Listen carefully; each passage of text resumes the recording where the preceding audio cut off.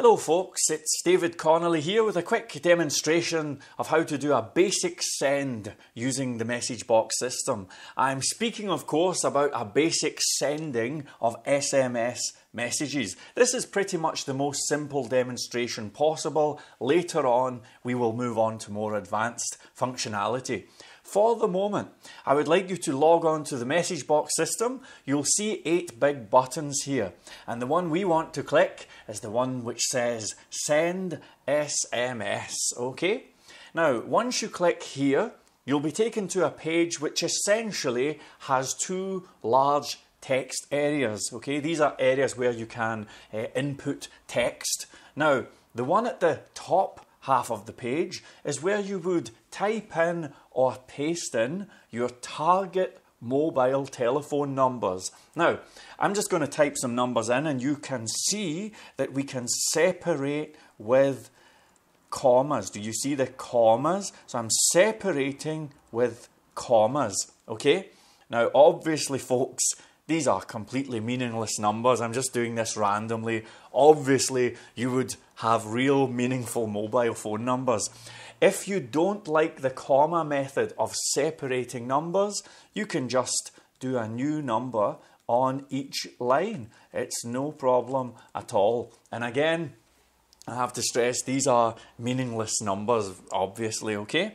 So you would add your numbers to the top section, and then in the section on the lower half of the screen, this is where you would type in your text message, the message that's going to be sent to all of the numbers above. Now, um, just a quick word of advice it's really not a good idea to paste in from an application like Microsoft Word, for example, sometimes that can add formatting and on, you know disallowed characters. It's just not a good idea. So I'm going to just type in a message. I'm going to say, "Hello there. This is a test." Here we go. Okay, so there you are. I've typed in a message. We have our target numbers at the top of the screen. Actually, let me just quickly type in my own number. Okay, so that we can have some sort of meaningful test. And over on the bottom right hand side, we have a big button which says send. And this is what we would click to send the SMS messages.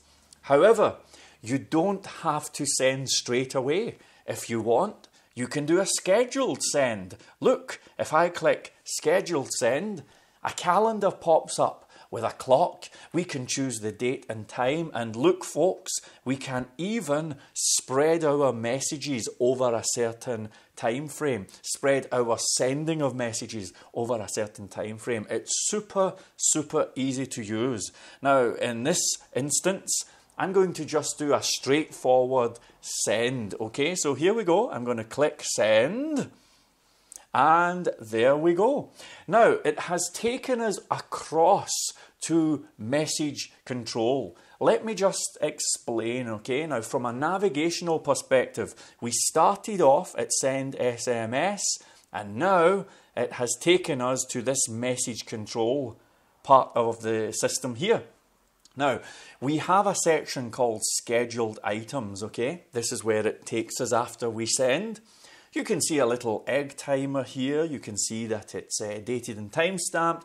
You have a preview of the message, the volume, the credits. It's all right here, okay?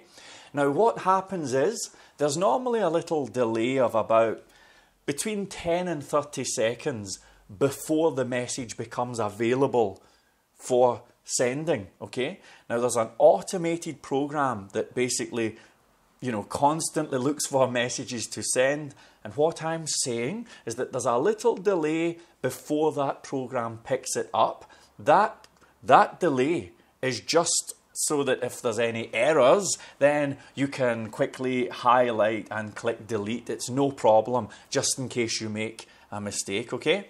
But all things being well, this message should be going out any second now. Mm-hmm. And there you have it. So, uh, you probably heard that. That was my phone here, and the message has been sent. Okay? Now, while we're on the message control system here, And again, let me just confirm, you can see that the screen has cleared, okay, which means we have no more scheduled items. So whilst we are on message control, let me just explain a couple of features which you may find useful. We have uh, this outboxes section here. We can look at scheduled items, which is now empty.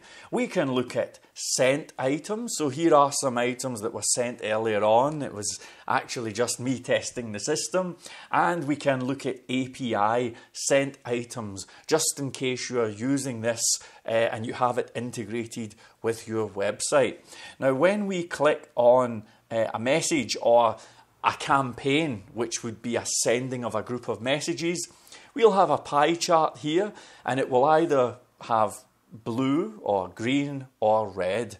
Blue means pending, meaning it has been, you know, we've sent, but we are waiting on a success report from the SMS provider, if that makes sense. So there's actually reports that come in from the networks which say success or failure. If you see a blue, or if you see a blue pie chart or blue on the graph, it means pending. Green means it has been sent, a success port, uh, report received, all is well, and red would mean uh, that the message has failed for some reason. Okay, now I've actually never seen a red on this system. It is kind of a rare thing. But um, the other thing I wanted to show you is that you can export delivery reports. If I go, let's see, if I go to sent items here, I can go to the top section here and we can export a delivery report as a CSV, XLS, XLSX, a PDF or an HTML. Now this is super easy folks. I'm going to do PDF, right? So you can see that we have a menu comes up here. We can filter our reports out. You know, we can do this by month, by mobile phone number. We can even do um, reports between certain dates uh, or even within the last X amount of days. I'm just going to do a report for June. I'm going to click OK. And look how quick this is, folks. Look at that, it has already generated a PDF. So there, folks, is how to send, do a basic send using the Messagebox system, and also how to view reports so that you can track the sending of your SMS messages. Thank you very much. I'll see you on the next video. Bye.